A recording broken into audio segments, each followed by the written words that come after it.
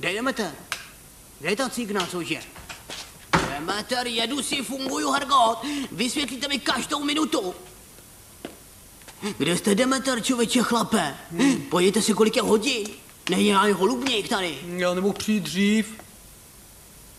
Mm, Já bydlím v desátým, desátým patře.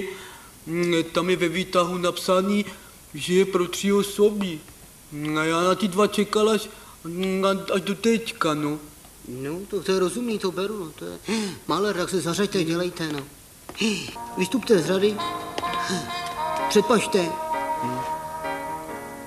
Takže ve službě nekouříme, jo, zařaďte se. Příště se domluvte s tam těma dvěma, jo.